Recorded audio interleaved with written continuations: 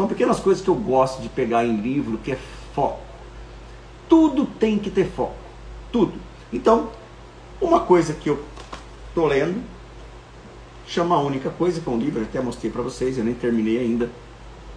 Mas o capítulo 1 do livro, ele fala uma coisa muito legal, que é mais ou menos isso aqui, ó. ó. Olha isso aqui, ó. Viva como um selo postal. Cole-se em um único objetivo até alcançá-lo. Foco, gente.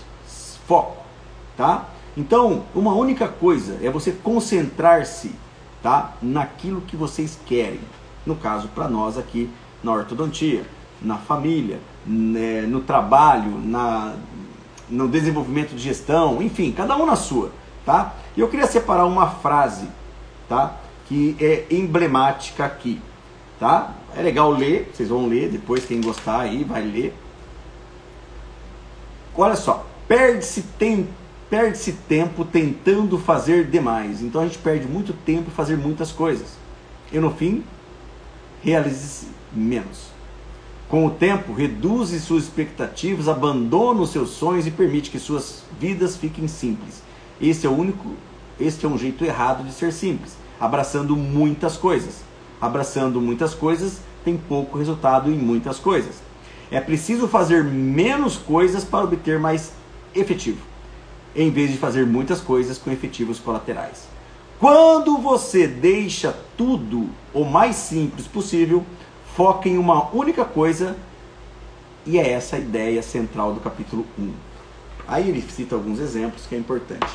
Então, é, quando a gente fala sobre ortodontia, sobre alinhador, sobre bracket, sobre telides, uma disciplina, eu não vejo de outra forma. Eu não vejo de outra forma. Se você tiver uma dúvida, todas as dúvidas que vocês colocaram, ela é extremamente cética na sua resposta. Se eu voltar um pouquinho, quando, por exemplo, a doutora, é, deixa eu lembrar o nome dela aqui, Natália, perguntou, por exemplo, é, sobre a questão se byte turbo é igual byte block.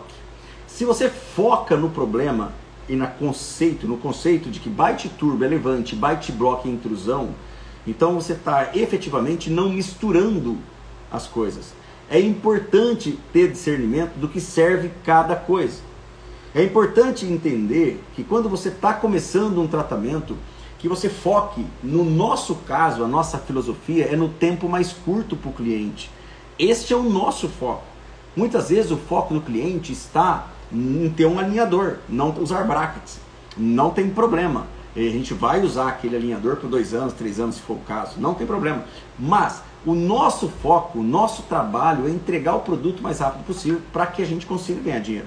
Você pode cobrar 30 mil reais no tratamento. Se você demorar seis anos para tratar, o dinheiro não entra.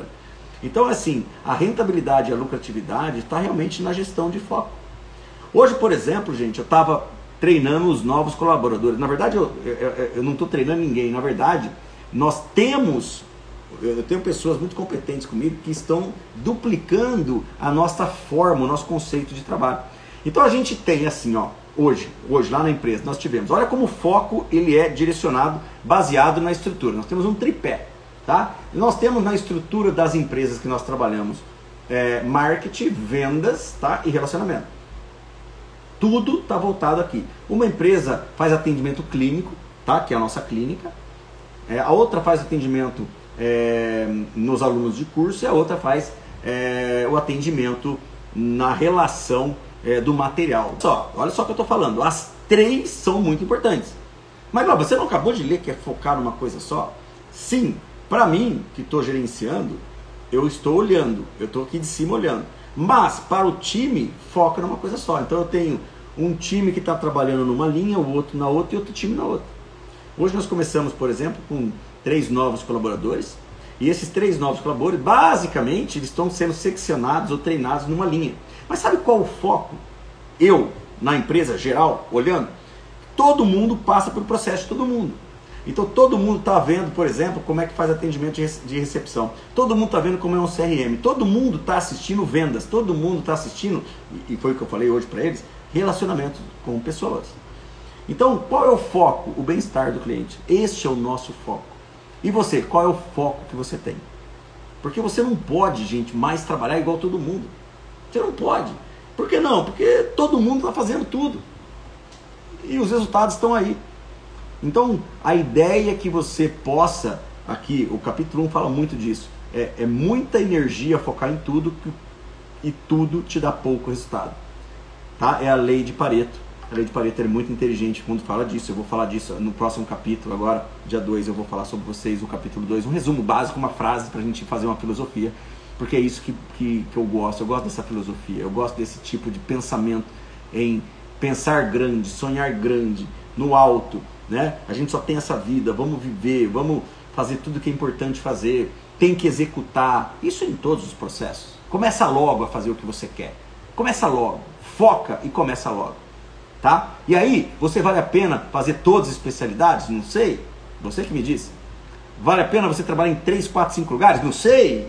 É você que me diz. Vale a pena você misturar um monte de alinhador? Não sei, é você que me diz. É, vale a pena você fazer uso de tantos breaks, comprar material por causa da demanda de preço e não da demanda de necessidade? Vale a pena você fazer estoque? Quer dizer, foque nisso, tá?